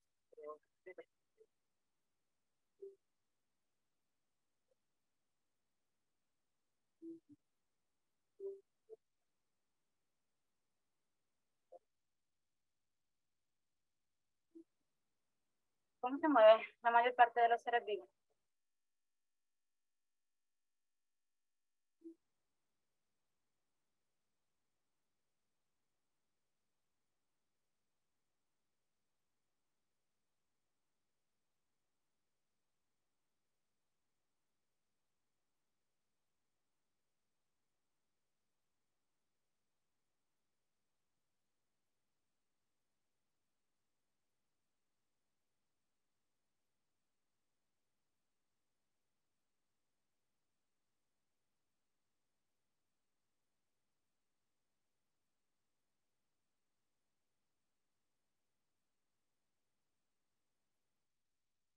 Bueno, pues este vídeo os podéis hacer una idea de, lo que plantea. Es un material didáctico que lo que propone es fomentar el pensamiento crítico y la reflexión. Y se llama 99 preguntas y 99 experiencias. Se divide en varios, en varios, en varios folletitos. Uno es el de mundo y sostenibilidad, otro es de relaciones y comunidad, otro de desarrollo personal. Y ahí en cada manual pues proponen una batería de muchas de 99 preguntas para hacerlas al alumnado, para tener conversaciones. De lo que se trata es de abrir el diálogo y abrir la conversación. ¿no? Y luego además cada manual va, eh, o cada folleto, perdón, va acompañado de 99 experiencias. Pues en tecnología, en, en transporte, pues experiencias de autotransporte, experiencias de otra alimentación, experiencia de grupos de cuidados, experiencia de cosas. Entonces, es muy interesante porque la primera clave o la primera, sí, como, como lo primero que podemos hacer para fomentar o para inculcar esta mirada ecofeminista a la educación es animar a pensar, ¿no? animar a reflexionar y animar a, desarrollar este pensamiento crítico sobre nuestra, nuestra forma de, relacionarnos, sobre nuestra forma de, de, organizarnos como sociedad y de desarrollarnos. ¿no? Esta sería la primera. Uy, a ver, no, perdón. La tecnología Se me ha vuelto a No sé cómo pasarlo ahora. Ahora. Vale, la segunda clave así gorda que quiero ligar a una experiencia sería como dar cabida a las emociones ¿no? y a la participación. Ya lo he hablado un poco a lo largo de, la sesión. Y entonces os voy a poner este, este proyecto, Red de Patios Inclusivos. Antes estamos, hemos hablado como em, la coeducación lo que hace es mirar dónde está el androcentrismo, dónde está el sexismo en todos los elementos de la escuela, ¿no? En los contenidos, pero también en cómo les hablamos, también en la metodología, también en los estereotipos, también en, cómo transmitimos la, orientación profesional y también en los espacios. Los espacios no son em, neutrales al género, ¿no? Una puede pensar, pero ¿qué, ¿qué, puede pasar mal en un patio de colegio? Los patios de colegio son lugares para pasárselo bien, ¿no? Y es verdad. Pero si tú un patio de colegio lo diseñas como se diseñan los patios de colegio en la inmensa mayoría de colegios del Estado español, pues ahí sí se generan eh, pues desigualdades, ¿no? Desigualdades que no son no deseadas, ¿no? yo no hablo de que la intención sea esa, pero si no se atiende, si no se mira con gafas de género a los espacios, cosas como estas pueden ocurrir, ¿no? ¿Qué es lo que pasa en los patios de colegio? De por lo menos de este país. Pues que se diseñan con a partir de las porterías de fútbol. ¿no? Si el patio de colegio, imaginaos, es un rectángulo, pues eh, se ponen dos porterías grandes o dos y dos. Entonces el dominio es absoluto del fútbol. ¿Qué quiere decir esto? Que hay un grupo de, alumnado que va a jugar al fútbol y va a ocupar el espacio central y otro al que no le gusta el fútbol que va a estar en los márgenes. ¿no? no es casualidad que las personas que están en los márgenes van a ser sobre todo las niñas y algunos niños que no juegan al fútbol. ¿no? Y esto es por la socialización de género. No queremos decir que las niñas no puedan jugar al fútbol, ni que no quieran, ni que no sean buenas, ni que no haya que fomentarlas jugar al fútbol. Pero lo que estamos diciendo es que la realidad de los coles es que el fútbol lo copan algunos niños, no todos, y el resto tienen como los márgenes. ¿no? Entonces, a partir de esta, de esta mirada y de otras, ¿no? que los manuales, la coeducación habla de, no solo, no este, me habían dicho que estaba Amparo Tomé de, alumna, la, socióloga Amparo Tomé, que es especialista en educación.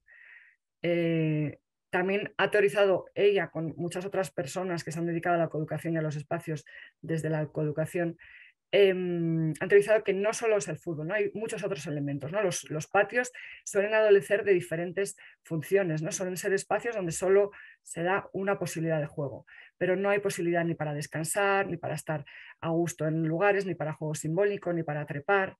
Entonces, desde la coeducación lo que se propone son lugares, el patio, que sean multifuncionales, ¿no? que den la posibilidad de jugar a la pelota, pero que den posibilidad de trepar por rocódromos o por columpios o por donde sea, que den la posibilidad de bailar, la posibilidad de, hacer juegos simbólicos, la posibilidad de estar tranquilamente con tus amiguitas o con tus amiguitos eh, sentados en, un, banco. ¿no?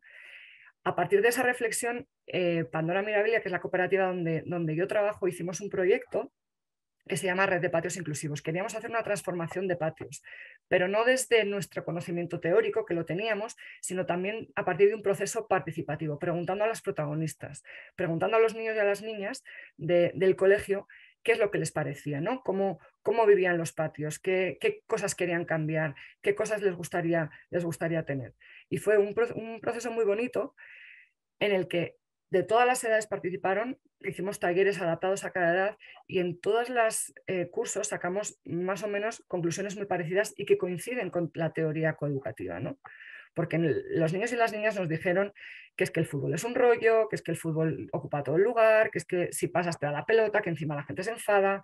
Nos dijeron que faltaba verde, que faltaba color en los coles, que faltaba sitios, suelos blanditos, que faltaban columpios, bueno, una serie de cosas, ¿no? Y a partir de ahí hicieron propuestas y se adaptaron las propuestas. Este, os voy a poner el vídeo del primer colegio donde intervinimos, que no lo hicimos solas, lo hicimos con un, equipo de arquitectos que se llama Pez Arquitectos y con unas urbanistas feministas de Barcelona que se llaman Punsis, hicimos este proyectito funcionó muy bien y lo hemos intentado replicar en otros colegios. ¿no? Entonces aquí tenéis el vídeo que resume un poco. Las amigas y amigos, este es mi cole. Las amigas y amigos, este es mi cole, Nuestra Señora de la Paloma, aunque en realidad todo el mundo lo llama la Paloma, que es más corto. Este es el patio del colegio, el campito. Me gusta mucho el campito. ¿Cómo no me va a gustar si es el lugar donde jugamos todos los días en la hora del recreo? Eso sí, me gusta mucho más ahora que antes. Hace unos meses el patio era gris, casi no tenía lugares para sentarse ni rincones divertidos para jugar. En realidad, en el patio apenas había una pista de fútbol con varias porterías y alguna canasta. A mí no me gusta el fútbol, así que con mis amigas nos dedicábamos a buscar escondites donde no nos dieran pelotazos y nos inventábamos juegos. Somos muchas niñas y niños a quienes no nos gusta tanto el fútbol, tantos que no cabemos en los escondites. Resulta que mi mamá también se dio cuenta de eso y habló con otras mamás y se inventaron un proyecto para transformar el patio. Además dijeron, todo el mundo va a participar en la transformación, es decir, lo íbamos a hacer con la ayuda de las familias, de profes y profas, sobre todo de todas las niñas y niños del cole. A lo largo de varios meses estuvimos haciendo talleres y juegos para decidir qué queríamos tener en el patio color, plantas, lugares tranquilos, más bancos, otros deportes. Luego se hicieron propuestas y se organizó el trabajo. Durante una semana entera, nuestro patio se llenó de mamás y papás que trabajaron y trabajaron y trabajaron. Nosotros también trabajamos. Hicimos dos murales en el patio, la selva y el océano y después del cole íbamos al patio a ayudar. Fue muy divertido. Y esto que veis ahora es el resultado. Ahora el patio tiene mucho más color, más bancos y es más bonito. Tiene casitas para poder jugar y una cocinita y tiene una tumbona y dos rocódromos. Tiene un arenero con dos mesas para comer tranquilamente. Cuerdas para trepar y unos murales fantásticos. Pronto tendré una red de voleibol, un columpio y un muro musical. Como veis, estamos muy, muy felices. Un abrazo, Elena. Bueno, pues en este vídeo se resume un poco como el, el, espíritu del proyecto, ¿no? Y a lo que quería, que tiene cuatro claves. La participación, que eso es otra cosa de las que Mm, desde una mirada eh, ecofeminista hay como que, no es solamente el ecofeminismo, la participación en educación lo coge de muchos sitios, pero escuchar que, las, que participen no solo para opinar, para reflexionar, sino también para crear, ¿no? para crear soluciones y crear proyectos y transformaciones a su alrededor, pues es implicarles a niños y a niñas adolescentes. ¿no? Y luego otras claves que tiene este proyecto pues serían la sostenibilidad ambiental, la equidad de género y la educación transformadora. ¿no? O sea, es que sería el, el, ahí el, la mirada ecofeminista porque mete todas estas claves. ¿no? Un tercer ejemplo que os quería dar es, lo, se ha dicho ya, ¿no? y, lo, y lo ha dicho antes un Jesús, creo que te llamabas, el participante, que es ofrecer referentes y modelos. ¿no? traspasar ese androcentrismo ¿no? de, los currículums, de las historias, de, los referentes, que solo, solo tenemos eh, referentes masculinos, solo tenemos, por lo menos aquí, referentes del norte global, solo tenemos referentes, bueno, digo solo, pues casi solo, ¿no? Pero hay un predominio de referentes masculinos, hay un predominio de referentes del norte global. Entonces, hay muchas propuestas ahora mismo desde la coeducación ¿no? para hacer esto. Yo os quería dar a conocer este, que es otro proyecto que hemos hecho en nuestra cooperativa, que se llama Un cuento propio. Un cuento propio son discos de, cuentos que ficcionan la vida de mujeres reales, ¿no?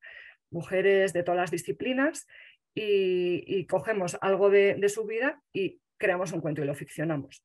Cada cuento va eh, acompañado de una canción. Entonces son cuentos que se han trabajado en el aula, que lo han trabajado en colegios, pero también son cuentos que se trabaja a nivel familiar, o sea, que se trabaja, perdón, que se disfruta a nivel familiar, que, es un producto que para que niños son como cuentos, pero para escuchar en casa o para escuchar eh, donde se tenga un aparato de música, ¿no? Y aquí os, os, traía dos cuentos, para, uno para escuchar sobre todo, que no me va a dar tiempo, que si luego queréis y queda tiempo lo pongo, pues son 10 minutos, que habla mm, de, del movimiento Chipko. ¿no? El movimiento Chipko fue un movimiento, eh, movimiento de mujeres en el Himalaya que, hace unas décadas cuando entraron unas máquinas inglesas a deforestar para vender la madera, pues se, agarraron a los árboles y defendieron los árboles con sus cuerpos. ¿no? Entonces, bueno, es un movimiento ecofeminista eh, paradigmático, ¿no? porque son mujeres que se organizaron, mujeres que defendieron su territorio, mujeres que Mm, que, defendieron eh, el medio ambiente con sus vidas, también porque también mujeres que ven la naturaleza y la sienten de otra forma, ¿no? Hablan Gaura Devi, que es la protagonista de este cuento, habla de que los árboles son nuestros hermanos, ¿no? No, son, no son utensilios para nuestro desarrollo, son nuestros hermanos que hay que cuidar y que, que, que, que hay que tener bueno, que, hay que cuidar. ¿no? Entonces, un cuento propio lo que intenta es visibilizar esos otros referentes, pero no solo desde el paradigma pues, occidental, de desarrollo occidental, ¿no? de, mujeres heroínas y que hacen y que, que, consiguen cosas de manera individual, con esta mirada del progreso occidental. ¿no? Lo que intentamos es meter también otros valores en estos cuentos. ¿no? Estos cuentos lo que tienen, eh, ponen valores a los logros colectivos, a la relación, al cuidado, a la naturaleza, a, las emociones, ¿no? a que no todas las personas siempre vamos a hacer las cosas bien. Bueno, pues intentan dar como, como peso a esos otros valores ¿no?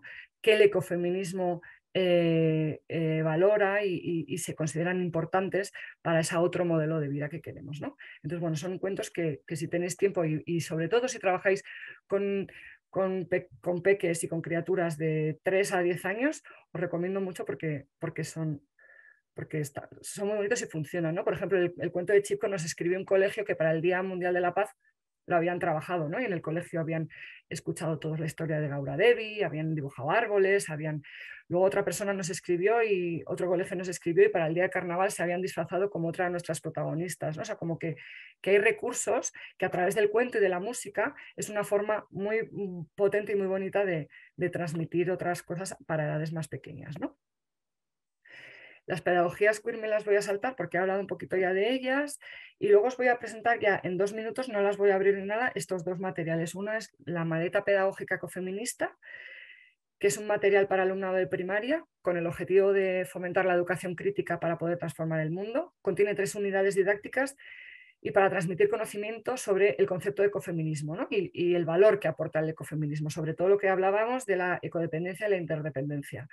Y son unidades didácticas que proponen eh, trabajar a partir de la experiencia, a partir de cosas que les pasa al alumnado, de sus expresiones, de, sus ideas, ¿no? O sea, como que es, una maleta que es bastante sencillita y, bastante interesante para trabajar. Y luego este blog que se llama Tiempo de Actuar, que es el blog de la FUEM, que es, em, que es, que es una institución ah, de aquí, del Estado español, y es un blog especializado en la elaboración de materiales didácticos, ¿no? de corte ecosocial. Entonces, eh, bueno, ofrece herramientas didácticas que permiten afrontar la crisis de convivencia contemporánea entre las personas y con el entorno. Entonces, bueno, pues ahí os lo dejo también en, el, en, el, en la presentación porque, porque tiene muchos materiales pues, para, para enfocar la educación desde este enfoque de fomentar la mirada crítica, la reflexión, eh, fomentar eh, la, la participación, todas estas cosas, ¿no? La educación emocional, etcétera, etcétera. Y otras claves que deberíamos eh, incorporar en la educación o que podemos incorporar, pues sería cosas que ya han resonado ¿no? en, en, la sesión de hoy. Pues la educación emocional, la resolución de conflictos, poner en marcha, programas de mediación, la educación sexual, la educación para el buen trato, la prevención de la violencia, etcétera, etcétera, etcétera. Y ya os digo que es una lista que tiene puntos suspensivos porque está incompleta. Entonces es una lista para que cada quien la coja, la complete y la adapte a su, a su realidad y a sus experiencias. Y yo creo que esto es todo por mi parte. Me he comido mucho tiempo, pero son y 25, tenemos cinco minutos o un poquito más si os queréis quedar a, platicar. A ver.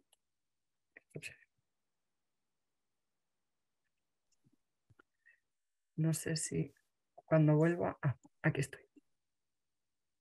Gracias, Marta.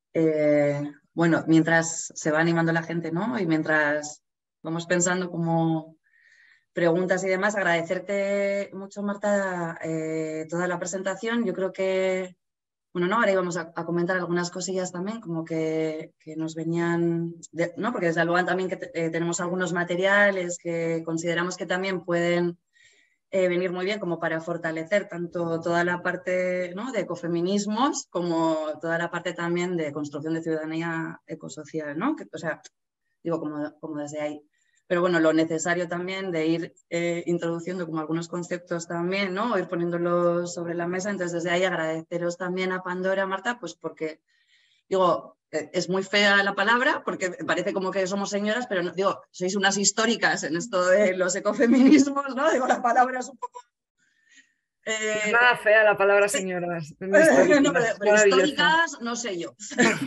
sí, sí.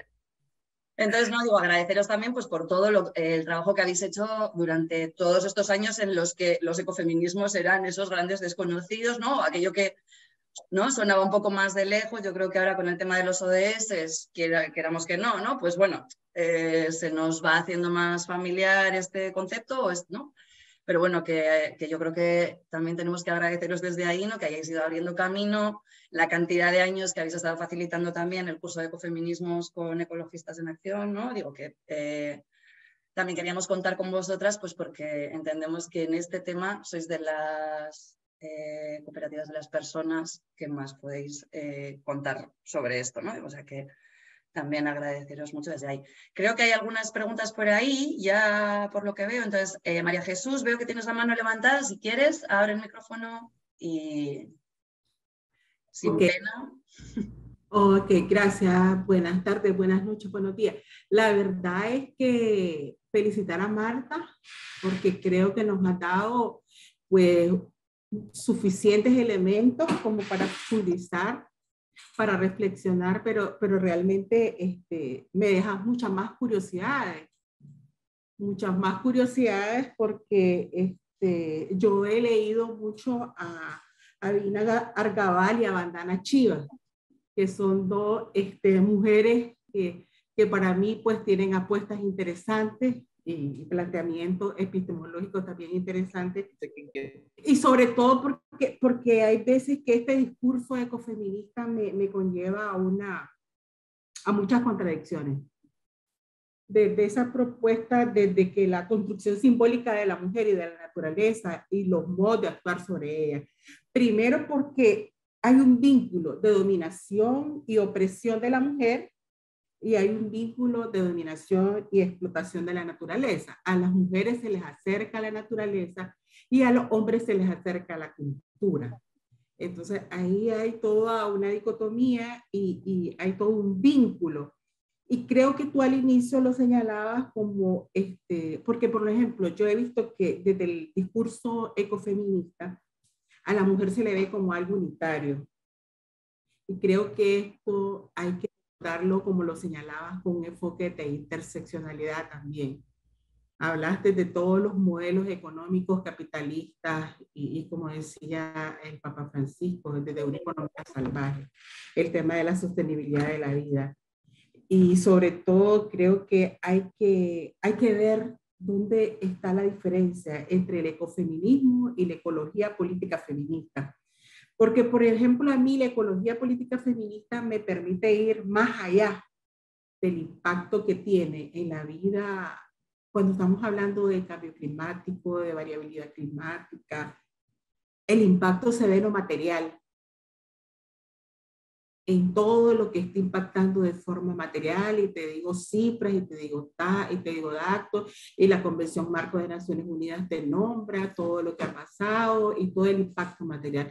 Pero el impacto en la vida de los hombres y de las mujeres me lleva a mí a no centrarme en la víctima, sino en identificar los factores que pueden contribuir a generar situaciones de desventaja o de vulnerabilidad para las mujeres, para los hombres, para las niñas, para los adolescentes.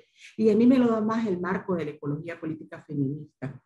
Entonces me quedé con un montón de, de, de, preguntas, interrogantes cuando, cuando hacías tu, tu, disertación, muy oportuna porque me iba dando respuestas también a muchas de las interrogantes que se me venían y luego llegaste con el currículo antiecológico y entonces ahorita mismo yo te digo, te quedan más preguntas que respuestas. O sea, te quedan más preguntas, porque cada vez este, nos está demandando, ¿verdad? A, buscar a alianza, a buscar sinergia, a ahondar y profundizar en estos enfoques eh, de cara a todo este tema de la educación, porque no es tan fácil, no es tan fácil. Eh, eso, eso, eso, esas eran mis reflexiones en voz alta. Gracias nuevamente. Muchas gracias a ti, María Jesús. No sé si contestar ahora o si hay más palabras, mejor damos paso a las palabras y luego ya... Pero vamos, muchas gracias, María Jesús, muy interesante.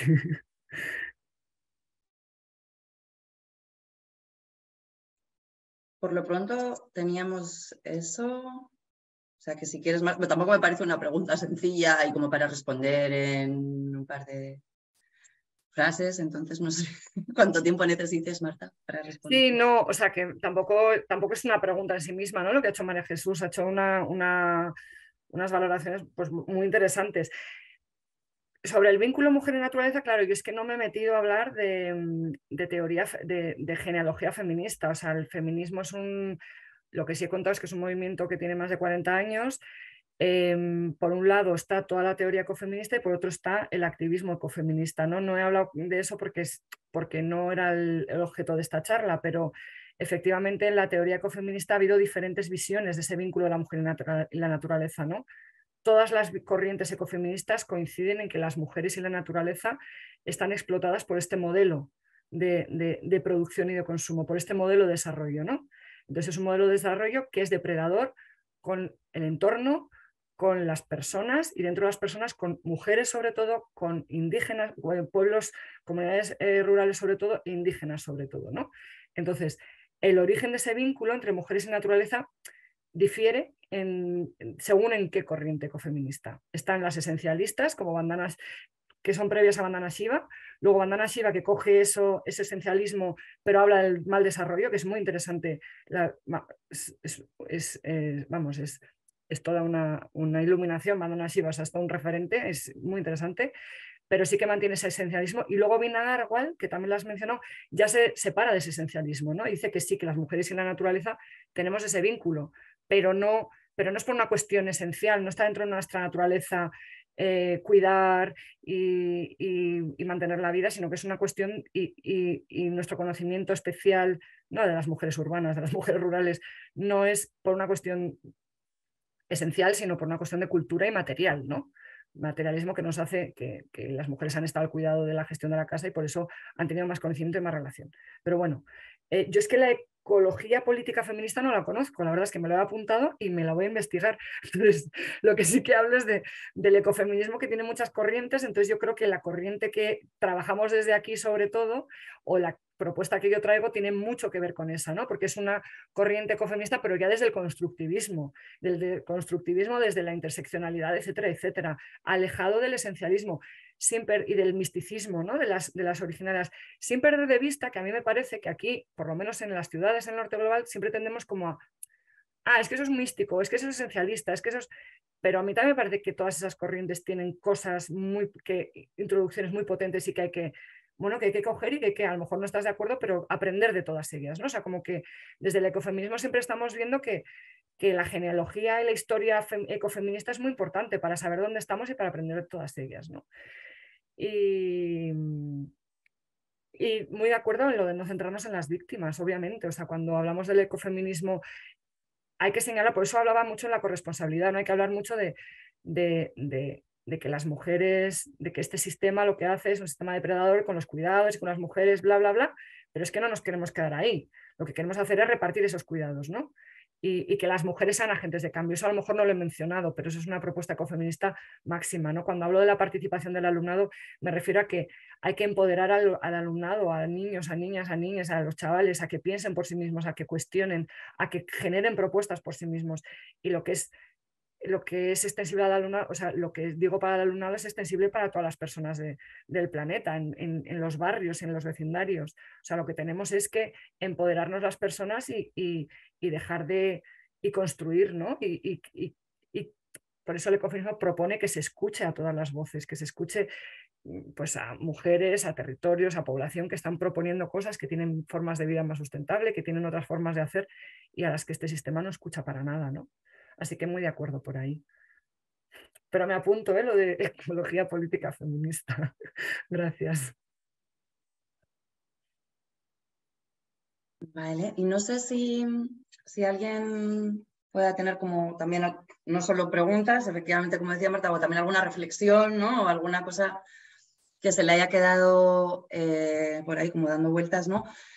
Eh, mientras tanto, pues comentaros, ¿no? Lo que os comentaba previamente, pues que desde Alboan también eh, hemos dado bastante importancia a todo esto que tiene que ver, ¿no? Con trabajar las competencias ecosociales, trabajar eh, aquello que hemos venido denominando la ciudadanía global, ¿no? Cómo darle este enfoque de ciudadanía ecosocial y que en esa línea tenemos eh, la última campaña de Somos Amazonía y que en el marco de esa campaña, en la página web, también vais a encontrar eh, acceso a unos vídeos y a una exposición de mujeres defensoras de la naturaleza, ecofeministas, todas ellas, ¿vale? Entre las que hay algunas que son más de acá, de nuestro contexto más cercano, digamos, ¿no? De Euskadi y del Estado español, pero también hay algunas mujeres de la Amazonía, ¿verdad? Tanto, o sea, digo, de, diferentes países de la Amazonía.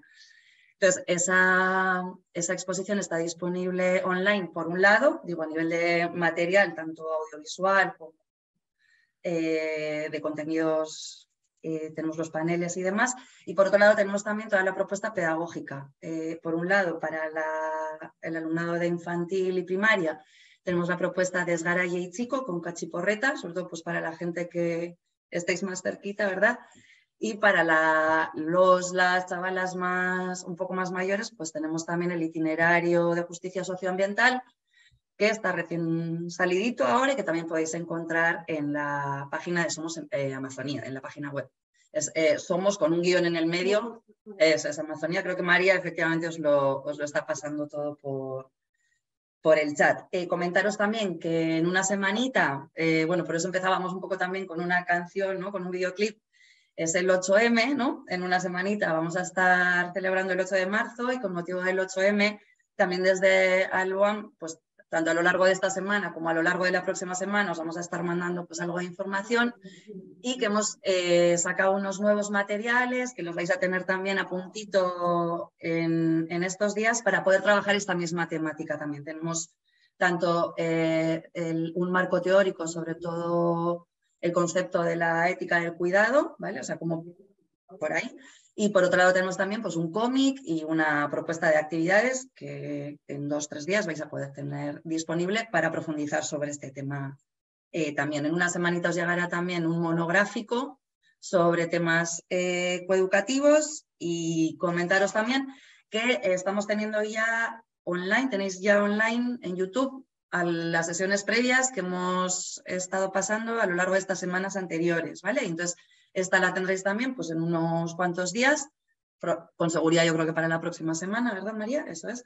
Pero bueno, que sepáis que también en YouTube podéis, ¿no? si os habéis perdido alguna o queréis poder eh, recuperar alguna, que, las tenéis también en, en YouTube. Y Jesús creo que quería hacer algún comentario también.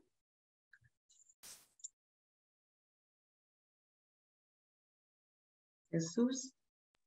Ahí. Ya, ya, venía a cerrar el micrófono. Hola de nuevo. Eh, pues yo agradecer, digamos, eh, eh, la exposición. Eh, a mí me, me, me, pareció bastante bien. Yo me sentí...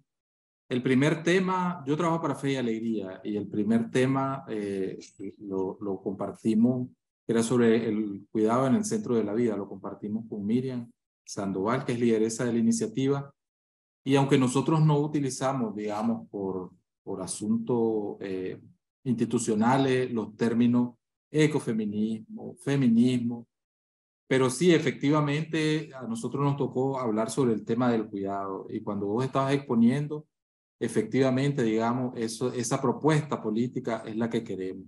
O sea, vos hablaste del empoderamiento, nosotros estamos hablando, digamos, que tiene que ser una, una apuesta política, el cuidado, adoptar la, la cuidadanía no solo de las mujeres, que ha sido lo tradicionalmente que vos lo mencionabas, sino cómo hacer que los niños, adolescentes y hombres adultos asuman esa responsabilidad, que no es un apoyo en el hogar, que no es un apoyo. Y si vemos, digamos, el, vinculándolo al ecosistema, por ejemplo, el cuidado de las plantas, el cuidado de los árboles ha estado en manos de las mujeres. Entonces queremos con esta propuesta que los hombres, los niños, y los adolescentes también se apropien de esta, en este sentido. Hablabas, por ejemplo, de, de, de la mujer negra, no, no recuerdo el nombre, pero yo decía, o sea, dijiste negra, mujer negra y eh, comunista, creo que dijiste, eh, eh, pero yo decía, y también hablando de la, de, si fuera lesbiana o queer, sería otra carga más que tendría Y entonces son como muchas aristas, pues, que, que de repente es como muy pequeño el espacio para abordarlo, pero eh, efectivamente yo veía eh, mucha, mucha similitud a la hora que hablaba, digamos, de, de, de todos estos temas, como nosotros efectivamente queremos vincularlo dentro del, del proceso del cuidado. Abajo la mano.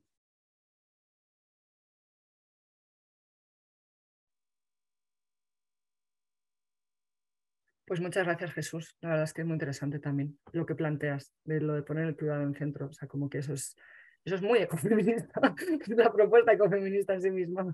Así que muy bien. Tiene más cosas, pero esa es una, una de las esencias.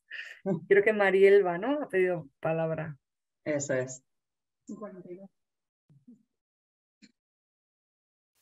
Voy a poner un momento el vídeo. Bueno, buenas tardes. Era solo para decir, agradecer, sobre todo lo que más me ha gustado, aparte de la excelente ponencia, es eh, las experiencias.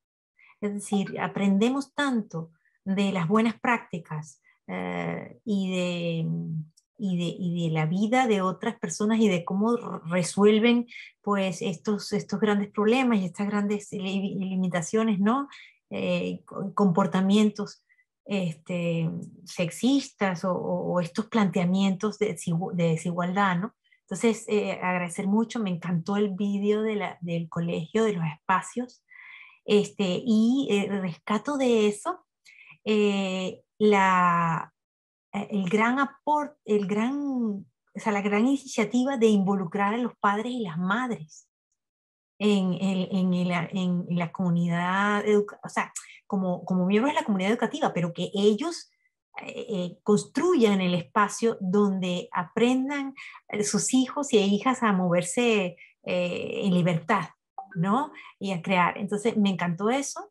Este, es, y, pues, y gracias también a Alboan por, por mandarnos todos estos boletines y estas, estas herramientas, porque necesitamos herramientas concretas este, para trabajar, eh, a veces pasamos mucho tiempo eh, buscando, buscando cosas que nos sirvan realmente para actuar en la escuela o para actuar en la comunidad. Entonces, esta, estas cosas que nos dicen, estos tips, eh, son invalorables porque ya están seleccionadas con un criterio y nos ahorran bastante tiempo porque necesitamos esas prácticas día a día. O sea, y, y, esa invitación a, ampliar esa lista, pues eh, sería fantástico que, que, pudiéramos contribuir, por ejemplo, desde la iniciativa de género de la federación, eh, a ampliar con prácticas, este, con materiales, con herramientas, eh, esa lista de puntos suspensivos que, que, has iniciado y que te agradecemos mucho, Marta. Pues me alegro mucho. Gracias por los comentarios. Sobre red de patios inclusivos, em, tenéis más vídeos en YouTube del proyecto. Están todas las claves. Hicimos cuatro vídeos con cada clave. Hay un vídeo resumen y luego la clave de feminismo, la clave de sostenibilidad, la clave de participación. Entonces, si lo metéis en YouTube, red de patios inclusivos Pandora Mirabilia, los encontráis. Porque hicimos adrede esas, esos vídeos para que pudieran servir como de apoyo a gente para que pudiera replicar el proyecto. Pues si queréis, no sé si hay alguna palabra más así, si no nos, ya son menos cuarto, nos hemos ido 15 minutos de, lo que era. Eso es porque era muy interesante el tema, Marta. Eso indica que, le gusta. Eso, es que genera interés, efectivamente, pero bueno, eh, a todas aquellas personas que no podáis tener interés también, eh, Marta va a estar aquí, no, con, no, no necesariamente, pero quiero decir, os podemos pasar el contacto de Marta para que también, ¿no? Eh, tanto por tema de materiales o, porque os pueda interesar contar con ella para algún tipo de formación interna o lo que fuera, pues que podáis también tener la facilidad de, contactarla y agradecerle a ella, agradecer una vez más también a Wes y también a, ustedes de, de Fe y Alegría de la iniciativa de género eh, pues que, estén ahí al otro lado con tanto interés, con tanta gana, semana, iba a decir semana a semana, quincena a quincena, más bien. Eh, y agradecer también a EGK, que también están ahí como, como incondicionales. Y con esto, eso, la próxima semana iremos a las movilizaciones, ¿verdad? Del 8 de marzo y eh, el 14 de marzo esperemos que tengamos la última de las, de las sesiones de este ciclo formativo. Es que ricasco, muchísimas gracias a todas, a todos, a todes y feliz semana. La es que ricasco. Chao. Buen 8 de marzo. Chao. Buen 8 Igual. Feliz 8 de marzo.